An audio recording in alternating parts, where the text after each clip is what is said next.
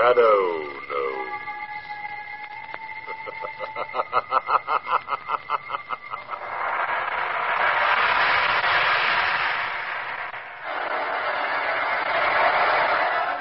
Once again, we bring you the thrilling adventures of The Shadow, the hard and relentless fight of one man against the forces of evil. These dramatizations are designed to demonstrate forcibly to old and young alike that crime does not pay.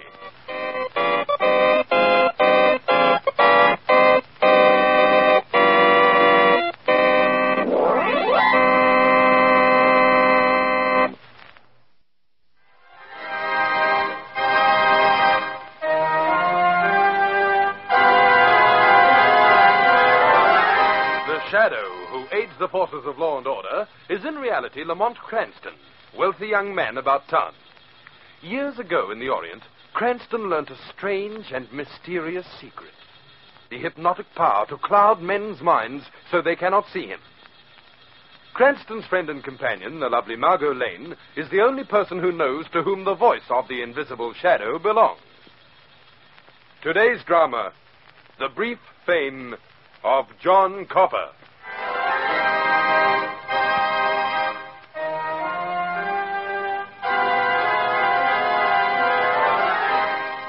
Large sub-cellar room, illuminated by flickering lanterns, a group of tough-looking men take chairs.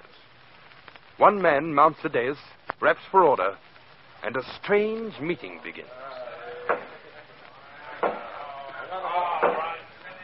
The 33rd meeting of the Royal Mob is called to order. Order, please. Order. And now let us proceed with the meeting. Miss Harsh will call the roll. Snowy Allen? Here. Louis Brady? Louis Brady. Mark him absent, Miss Harsh. Happy Herman? Here. Con Crandall? Con Crandall. Dear me, this is very strange. I believe I instructed all members to attend this meeting. There can be no excuse for Brady and Crandall not to show up. There is, boss. What's that? Why? Brady's dead, boss, and Crandall's in jail. What? It's that amateur detective fella, Lamont Cranston, boss. He's been working with the police. He fixed Brady and Crandall. Ah, yes, Mr. Cranston. That gentleman has been extremely annoying lately. You've got to do something about it, Chief. This makes seven members of the Cranstons removed in two months. Yes, gentlemen, there is an old saying. Always meet an unusual problem with an unusual solution. I believe I have an idea that might work. Yeah? Let's hear it, boss. It is simply this, gentlemen. I propose to have Mr. Cranston accused of a crime. But the police are his friends, Chief. Even if they were convinced, they'd think it was only a temporary lapse and they'd let him off lightly. True, and that is why I intend that the evidence against Mr. Cranston shall be watertight.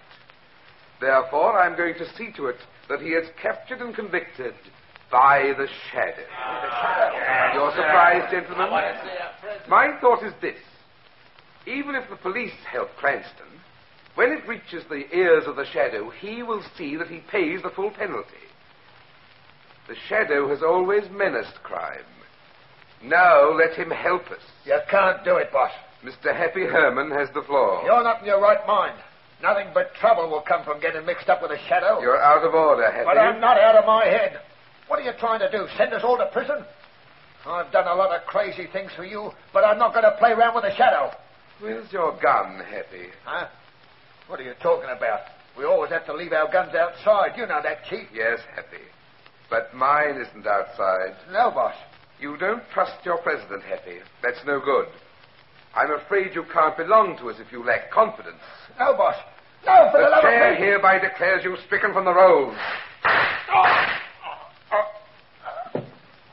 Miss Harsh will appoint a committee to dispose of the body. Meeting adjourned.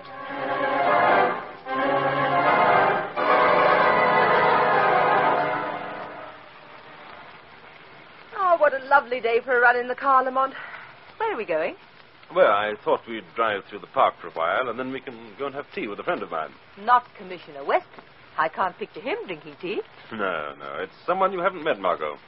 He's a delightful chap. Polished, suave, connoisseur of art, literature, and fine living. Really? What's his name? Robert Stone. Robert Stone, eh? He sounds like a fascinating man. Yes, he is.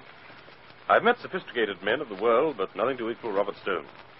I'd call him the epitome of civilization.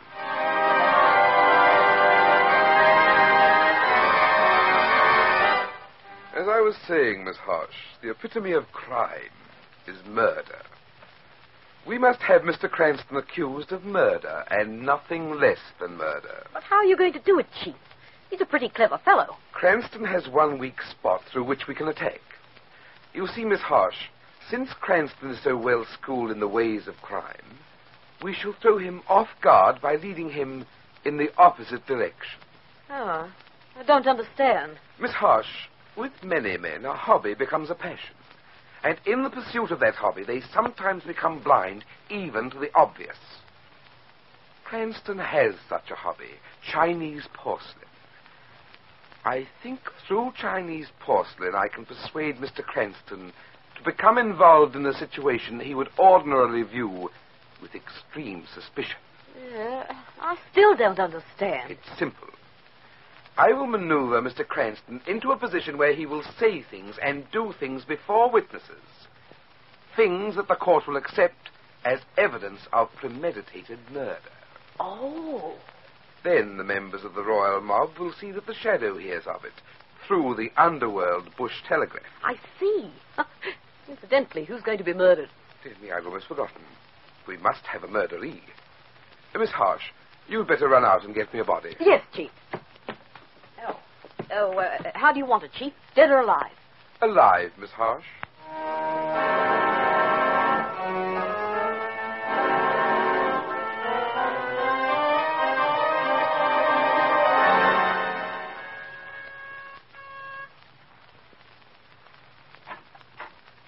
Well, Lamont, come in, come in. So glad you could come. Thanks, Bob.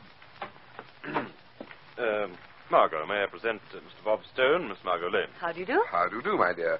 Uh, come on in and sit down. I have a pot of tea brewing. Oh, wonderful.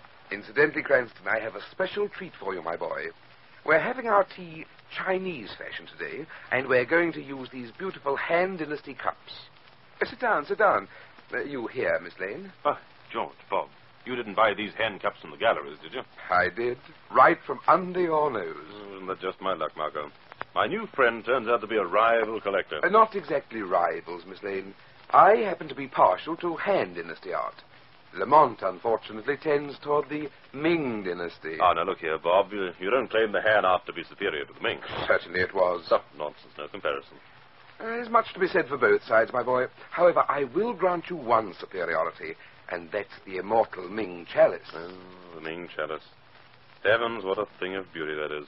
I never heard of it. It's an exquisite blue chalice, my dear, the only piece of its kind. It disappeared about 15 years ago. It was destroyed in the fire of a Chinese temple. So they say. Such a pity. Every collector in the world is itching to get his hands on it. You too, eh, Lamont? Hmm, I certainly am. Ask him how much he'd pay for it, Miss Lane. I'd pay a fortune for it. And you'd steal it if you couldn't buy it. Yes, I think I would. By George, I'd almost be willing to commit murder for that beautiful chalice. Beware of all art collectors, Miss Lane. When the fever overcomes them, they become thieves and murderers, like Lamont. Oh, excuse me. Hello? Boss. Boss, I've got a body for you. Picked him up down in the slums. Ah, splendid, splendid. Well, what do I do with him? Um, what's your opinion of the merchandise? He's a tramp. He's not very bright. We can do anything we like with him. Uh, very well. Uh, suppose you deliver it to my home as quickly as possible uh, for inspection. Uh, goodbye. Pardon the interruption, my friends. And now, Lamont, uh, prepare yourself for a shock. Shock? Lamont, the Ming chalice wasn't destroyed. I know where you can buy it. What? Staggering news, eh? Yes, it's true. I found the Ming chalice for you. Suppose you meet me tomorrow at the Oriental Art Gallery, Civic Street. Say around um, three o'clock. The Ming chalice there? No, no, I'll say no more. Just meet me, my dear friend. I promise you we'll have quite a surprise in store for you tomorrow. Quite a surprise.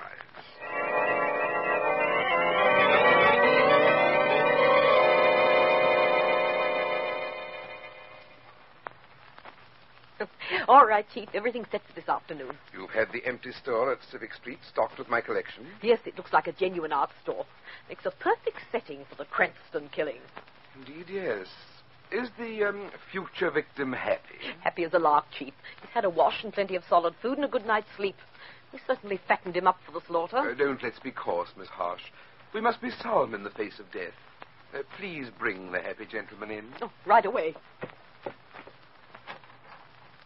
Come in, Mr. Copper. Mr. Stone wants to speak to you.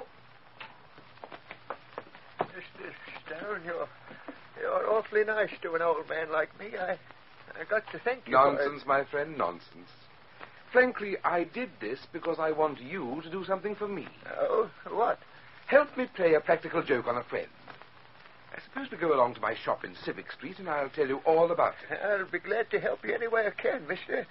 Only I must warn you, I, I haven't much humor inside of me. I've never been able to see a joke. Ah, but you will when I tell you, Mr. Copper.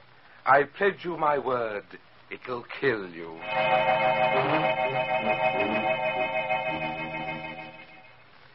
Now, my friend, is everything arranged? I, uh, I think so, Mr. Stone. You'd better hurry, Mr. Stone. It's almost three. He'll be here soon. I'll just go over the details once more.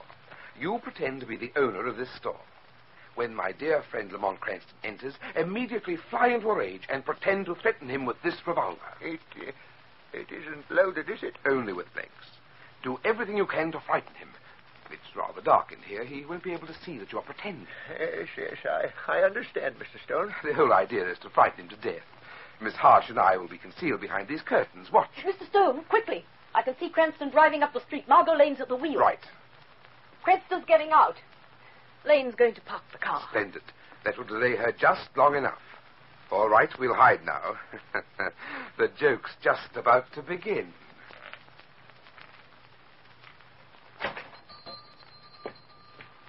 Uh, good afternoon. Uh, is my friend Mr. Stone here? Uh, I'm Lamont Cranston. Yes, you're Lamont Cranston. I know you. I've been waiting for you. Oh, what are you doing with that gun? This is the chance I've been waiting for. I'm going to give you what you deserve, Cranston. Stop it, you fool. Give me that gun. Well, are you out of your mind? I'll, I'll kill you. Let go, will you? Good work, Chief. He's out cold. Hey, uh, Mr. Stone, you. Give me that gun, Miss Harsh. Hurry. Miss Lane will be here soon. Mr. Stone. No. No. Ah. Work quickly, Harsh. Slip out the back door, run round, and meet Lane coming in. I'll plant Cranston's prints on this gun with the one shot fired. Right, Chief. Now, Mr. Cranston, let's get your prints on this gun so the shadow will be convinced you're the murderer. And now Copper's revolver must be hidden then out the back door. Oh, Mr. Stone will be here in a moment. He's just trying to find some place to park his car. Well, I don't envy him. I just. Lamont! Lamont! Why, what? Oh, Miss Lane. Mr. Cranston's on the floor. And, and that other man. What? Well, where's the lucky Mr. Cranston? Is he. Oh, Mr. Stone. What is this? Mr. Stone, something terrible has happened. Lamont's unconscious, and, and that other Why, man is. he's dead. This is strange. Lamont! Lamont! Oh. Wake up. What's happened here? Oh. Oh, my head. Oh, oh, that stupid man. My dear boy, you must pull your wits together. What happened here? What's the gun doing there? Lamont, what did you do? I. I don't know, Margo. I'm not sure, but. But I think I've just killed this man.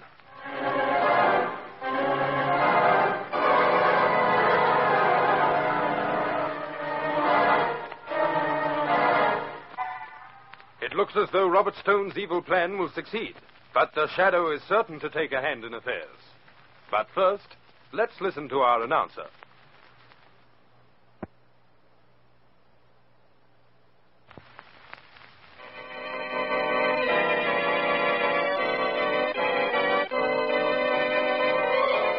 And now, back to the Shadow. It is some time later. The police have been notified of John Copper's death, and we find Lamont Cranston, Margot Lane, Robert Stone, and Miss Harsh in the office of Commissioner Weston at police headquarters. Cranston, I want you to understand something right from the start. Because you're a friend of mine, I'm going to be harder on you than I would on anyone else. Now, you were found in that store with the murdered dealer. He was shot dead with a gun lying close to your hand. Evidently, you'd been in some kind of fight with him. Now, I want you to answer me truthfully. Did you kill him? I don't know. Believe me, Commissioner, I don't know. Ah, you don't know. What sort of an answer is that? Don't you understand? There was a fight. I, I was knocked out. Perhaps I killed him. I, I, I don't know. Why were you fighting? Well, I don't know why. I've never seen him before in my life. Ah, well, then why were you down there? It was the Ming Chalice. Quiet, Miss Lane. But it was. Don't say anything. Now, just a minute. I'm still police commissioner, Mr. Stone. I'll tell the witnesses what to say. What's this about a Ming chalice? It's a rare work of Chinese art. Lamont was very anxious to buy it. Don't He say was- it, Miss Lane. Don't say what. I. I'm talking to Mr. Stone. Don't say what. Answer. I can't. Mr. Stone, perhaps you're doing Mr. Cranston more harm than good. Perhaps you had better tell the truth. Lamont, it's up to you. What should I do? Well, I don't know what you're trying to conceal, Bob. But the truth never hurt anyone. Tell it. Very well. I was afraid Miss Lane would reveal that Lamont had said, jokingly, of course, that he would cheerfully steal or commit murder for that chalice. Oh, he did, eh? Cranston, I can't understand this. What's got into you? Commissioner, I don't even know what happened. All I know is I might have killed that dealer. Lamont, my boy, you listen to me. We'll get you the best legal defense that money can buy. No matter what happens, Lamont, remember you can trust me. I'm your friend.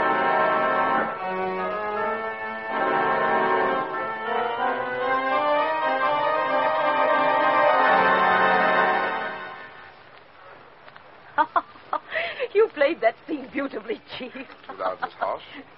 Even the entrance of police headquarters may have ears. Oh. Miss Lane will be along soon. What do we do now? Two things. First, have Joe the penman take care of Cranston's claim that he never knew the dead dealer. And you will have Joe forge complete correspondence. Plant some letters in Cranston's flat and in the store. Uh-huh. Make the subject the purchase of the Ming chalice. Right you are, Chief. Is there anything else? Yes. We've got to make sure the Shadow gets interested in the case. To do this, we'll have to arrange Cranston's escape from jail. Escape? Isn't that step obvious? The Shadow must assume that Cranston is escaping justice uh, because of his friendship with the police. He will. The newspapers are already saying that. In fact, one paper is asking why the shadow hasn't come into the picture. Fine. Eventually, we arrange it so that the Shadow hears I wish to see him. Wait, here comes Lane. Look sympathetic. Oh, not me, Chief. I've got work to do. I'll see you later. Oh, Mr. Stone, this is awful. They, they put Lamont in a cell. There, there, my Oh, dear. you were wonderful inside. I can't thank you enough. My dear, I've got bad news for you. What, what do you mean? It was all bluff inside. Lamont is in a very bad position. I doubt if the best lawyers in the world could help him. Oh, oh, no, you can't mean it. We've got to take strong measures if we want to help Lamont. What do you mean? We've got to get him out of jail and out of the country. It's his only hope. But, but how? I'll arrange the details. Go back, Miss Lane. Try and see Lamont. Tell him that escape is his only hope. Tell him to hold himself ready. Tell him that I'm arranging an escape for him. Tell him that his friends will never let him down.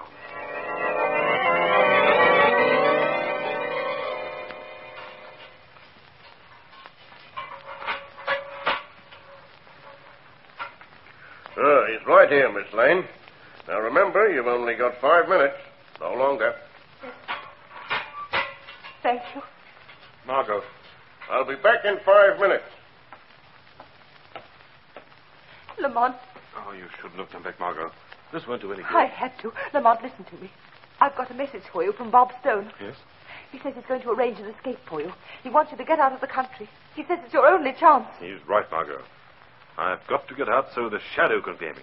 Margo, Yes, Lamont. I want you to help me now. Oh, I'll do anything, darling, anything. Scream for the guard. When he gets here, tell him I've escaped. Then the shadow. Yes, Margo. When he opens the door to let you out, the shadow will leave too. Now go ahead, yell. Right. Help! Help! Guard! Help! For heaven's sake, what's happening here? Stop shouting, lady. Lamont Cranston's escaped. You left the door unlocked and he escaped. Are you mad, lady? I'm not. He locked me in and then escaped. I don't know what the idea is, but that smart Alec's probably hiding under his cot. I'll teach him. Ah, lots of clever ones try that. Come out of there, Cranston. Come on. Holy mackerel. This place really is empty. You see, I told you so. Yes, but how am I going to tell the commissioner?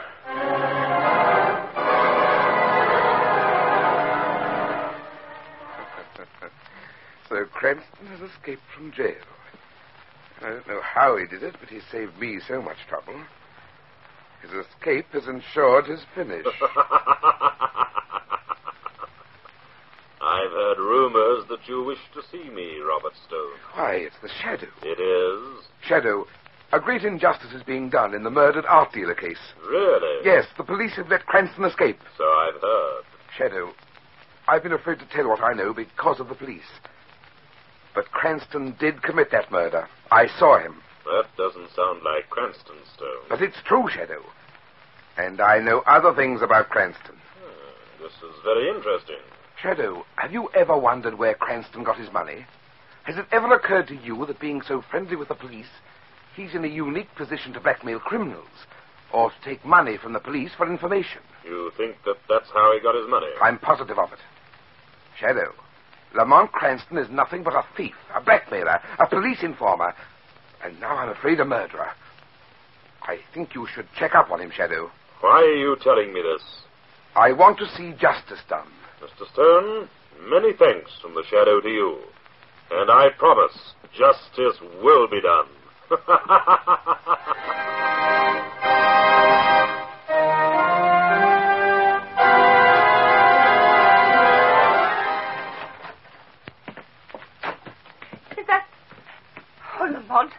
Lamont. Here, take it easy, darling. I had an idea you'd be waiting for me in your flat. Oh, where have you been? Having a very interesting talk with Bob Stone as the shadow. Listen, darling, you've got to act quickly. I've just spoken to Commissioner Weston. The case looks worse than ever. They've found out you were lying about not knowing that dealer. Lying? Yes, they found letters in your flat and in the store. I might have expected that. And the gun. The gun that killed him. Now, what about it? Well, they found your fingerprints on it. Sharp and clear as crystal. You're sure of that? On the 45 revolver? Yes, yes, I'm sure. That's the best news I've had in a long time. Lamont, why? Because that's the proof which will clear me. I, I don't understand. You'll understand when I tell you that my very dear friend Bob Stone is behind this whole scheme to ruin me. Oh, no. And what's more, I'm going to sheet the whole job home to him by tying a can to that lovely devil of a secretary, Miss Harsh.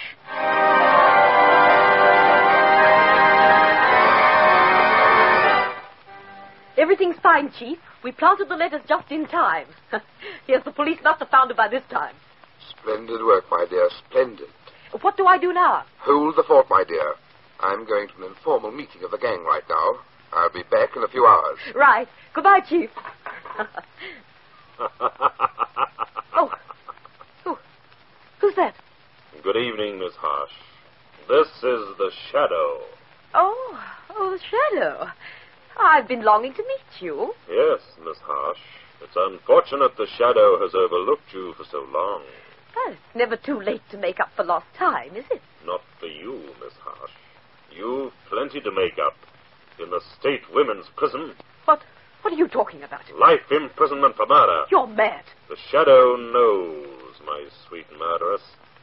The Shadow knows that Lamont Cranston is being held for a murder you committed. That's a lie. It was cleverly planned, Miss Harsh, but not clever enough to fool the Shadow. No, no, it's not true. The evidence is being sent to the police commissioner. Inside of one hour, a patrol car from police headquarters will be here. Are you bored, Miss Harsh? No, you, you can't do this to me. I didn't kill him, I tell you. It was. Yes? No. Let me out of here. Get away from me. It's no use running, Miss Harsh. They'll get you for murder.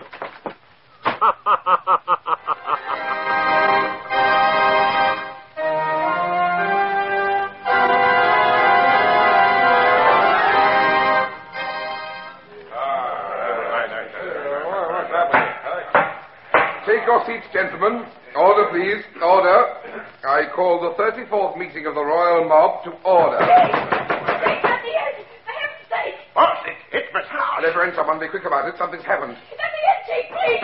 Hurry. Oh, Chief. Oh, Chief. The Shadow knows all about us. He, he came to the house just after I spoke to him. What the hell? He's accused me of murder. Said I was going to be sent to jail for it. You've got to help me, Chief. You can't let him do this to me. Who's that? Who rapped for order? Boss.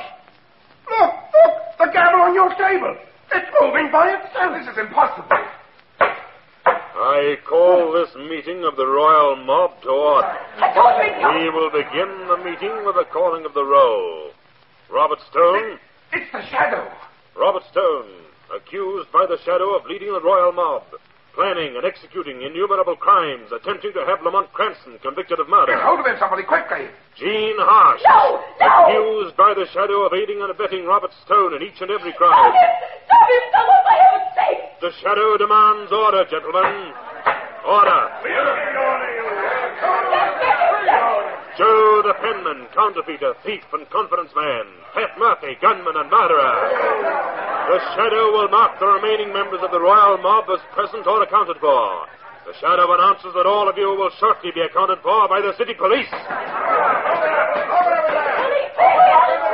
Listen, do you hear, members of the royal mob? The police have arrived for an accounting. The reign of the royal mob is ended by the shadow. Gentlemen, your meeting is adjourned.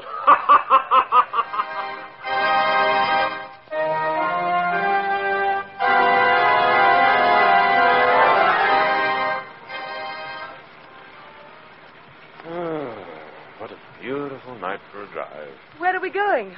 I hope not to visit any more of your friends. Now go look at those stars. Wonderful. Listen, what are you so happy about? You've forgotten you're only out of jail on bond. Oh, but everything's cleared up, Margo. Except for one little detail. What about that gum with your fingerprints on it? Ah, Margo, that gun is the one thing that'll prove me innocent. Commissioner Weston agrees. Huh? How? Oh, simple, my dear. Remember you said my prints were sharp and clear as crystal? Mhm. Well, when you fire a 45 revolver, it's impossible to leave sharp, clear prints. The gun has too much kick. Obviously, those prints of mine were planted on that gun. Oh. And that's where Stone slipped up. Yes, but he slipped up in another place, too. Where? Well, Margo, I've known all along that Stone was up to something. I played along to find out what it was. Oh, you're way over my head, Mr. Cranston. And you see, dear, I knew he was lying about the Blue Ming chalice. You see, although every collector in the world thinks that it's been lost or destroyed, I happen to know where it is. What? Yes, Margo. It happens to be locked away in a certain lamasery in Tibet. The lamasery where I learned the secrets of the shadow.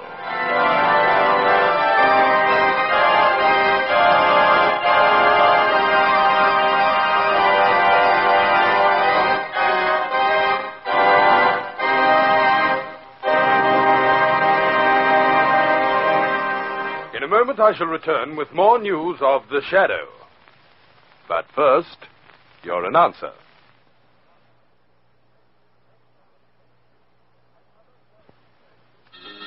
Next week, same time, same station, another shadow story.